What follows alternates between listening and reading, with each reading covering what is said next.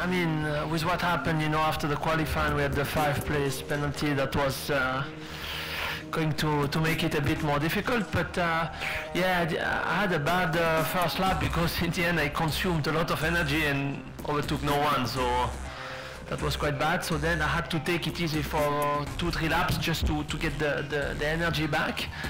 And then I started to overtake people, but obviously uh, Felix and, and the other guys had taken a very big uh, uh, advantage. And after a few laps, I realized I was not really on the same strategy, that I was going to go uh, longer.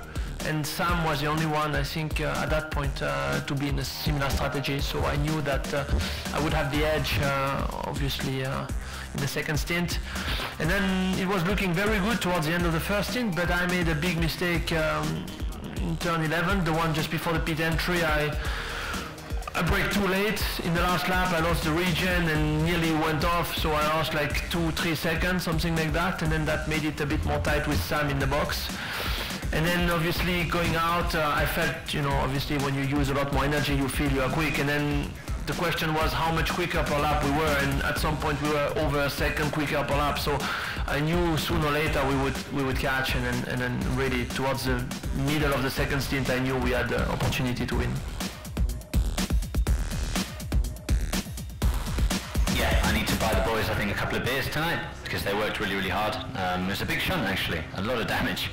Um, but yeah, the race was uh, the race was okay. Um, not particularly uh, thrilled, but it's great to get points on the board. There's still a lot of work to do. We we struggle in some areas. Um, this circuit is different to quite a few that we go to with the the micro roughness of the surface.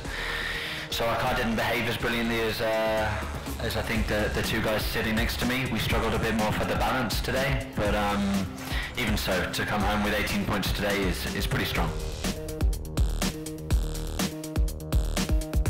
Yeah, I mean, it started off, you know, pretty well. Honestly, I have no real reference because Hong Kong was something else. So I crashed quite early in the in the first stint, and then it was just about doing fastest lap. But yeah, here uh, I think the target was to to be able to follow the energy, energy targets from my team, which worked really well. I think also I had a, for me, it felt like I was maximizing what I could do uh, with speed in the corners and so on, where I actually could fight for lap time. And uh, when when I heard that Seb and uh, Sam was behind me, I, I just knew that you know they were on a, another level, and there was no way I was going to to compete with them because I was already very tight on ener- energy, and if I would already defend two three times with them, I, I think it would be really hard to make the last couple of laps. So.